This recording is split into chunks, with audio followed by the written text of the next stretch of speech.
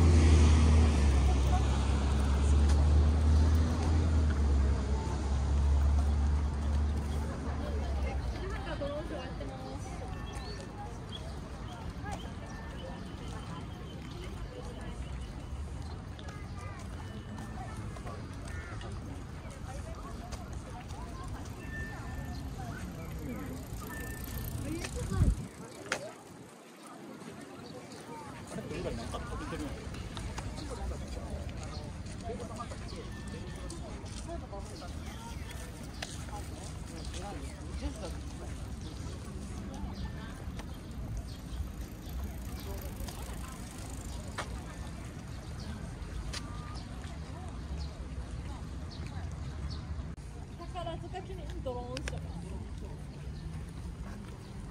ハッシュタグ宝塚記念ドローンショートつけていただいて SNS に投稿していただいてこの辺が一番綺麗に見えるらしいです。そうです。どこでも大丈夫です。自由です。ありがとうございます。